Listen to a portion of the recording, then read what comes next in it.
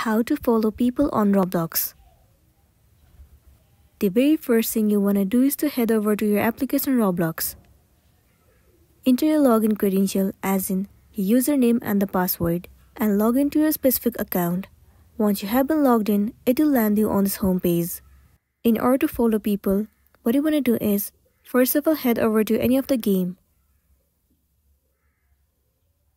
Scroll down and the option of developer will be visible to you.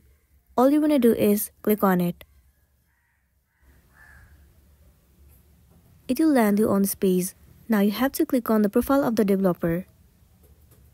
There you go, you are on the profile page of the developer. Let's say you want to follow this person. What you want to do is tap on this three dot over here. The option of follow at the very top will be available to you. Simply click on it. Once you click on it, you will be following this person from now.